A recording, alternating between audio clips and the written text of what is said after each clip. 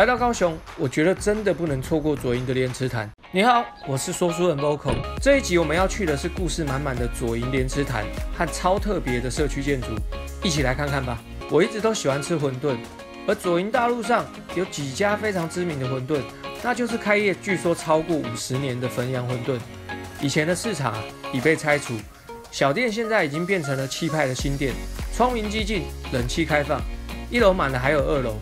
在菜色上，除了经典的馄饨汤，现在还能加面线、泡面、冬粉、汤圆、蛋一起吃。这里的馄饨口感的确独树一格，皮虽然薄，但内馅紧紧地抓着皮，不会轻易散掉。一口咬下肉馅，Q 弹扎实，香又入味。吃馄饨时记得试试他们的豆瓣酱，很对味哦。汤里有胡椒，但汤头对我来说偏淡。不过我本来就比较重口味啊。如果你们吃过的话，欢迎留言告诉大家觉得如何哦。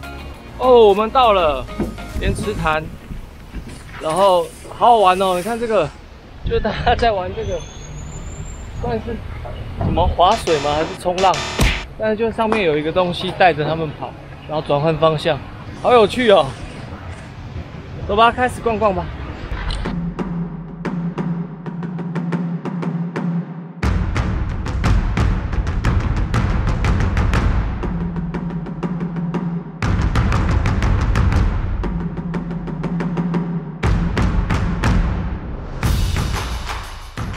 来到高雄，我觉得真的不能错过左营的莲池潭。它以前也叫莲花潭，是左营区最大的湖。除了能够远眺半屏山的山色，里面还有大量的莲花、荷花。每到夏天啊，视觉上真的是一绝。再加上1976年建起的龙虎塔，有点超现实，又有点古文明感，让这里在2004年 CNN 的报道中选为高雄必游景点，实至名归。近年来，每年的秋天还会举行万年祭，热闹无比。除了莲池潭本身，它的周围更是探索不完，像是几十座庙宇、旧城遗迹、眷村、市集等等。我们这次来说说龙虎塔吧。这两座塔高有七层，冷暖色彩鲜明对比，远看典雅中带有气势，近看高耸壮观。要入塔时，从龙口进，虎口出，据说能趋吉避凶。一走进里面，能够看到劝世的交趾陶作品，龙生里与虎生里的故事各有不同，包含了二十四孝、十殿阎王、七十二贤士、三十六工匠图等，可以细细欣赏。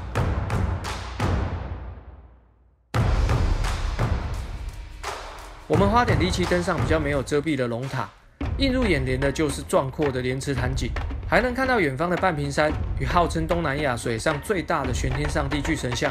心胸也因此开阔起来。走到启明堂这边，故事也多。他拜的是文武二圣，也就是孔子和关公。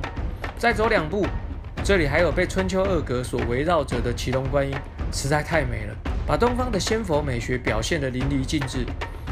大家过来的时候，不妨走到五里亭，回头看看启明堂、春秋阁、祁龙观音彼此交融的画面。不管是搭配上白云蓝天，或是夜幕细色。想必大家都能明白我在这里的感动。这张就是我在这所拍下的作品，简直像在梦里的画面，跟你们分享。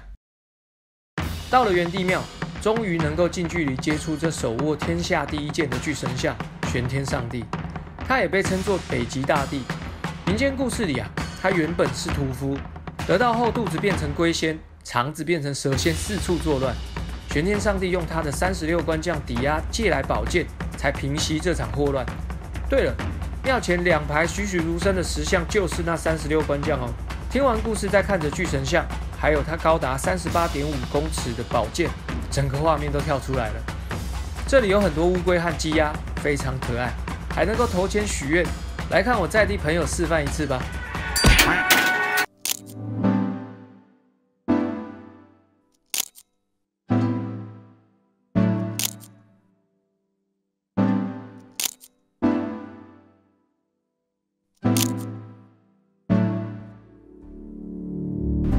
们到了一个很多人来拍照的社区，离开莲池潭，接下来要去一个非常有味道的社区拍照。它的名字是果茂社区，由眷村改建而成，年轻人口外移的比较多，住了很多农民和海军眷属。这里因为建筑风格实在太特别，而引来很多人拍照。大家如果想过来拍，一定记得不要大声笑闹，也别留下垃圾，毕竟这里是人家生活的地方啊。都说这里特别，特别的原因是它圆弧形的建筑，而且每户之间看起来非常密集。曾有居民在访问中表示，这样弯曲的设计是因为要让左营军港避免被住户看得一清二楚，有保密的作用。